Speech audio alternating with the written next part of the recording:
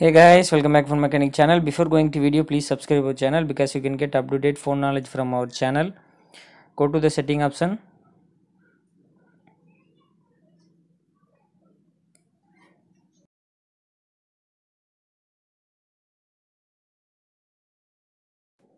Then go to the additional setting and there is a language and input option. Press that.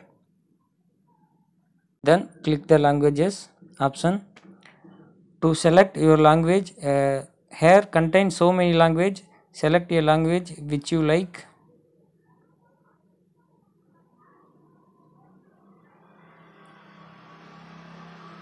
If you want i can change english same uh, before doing like.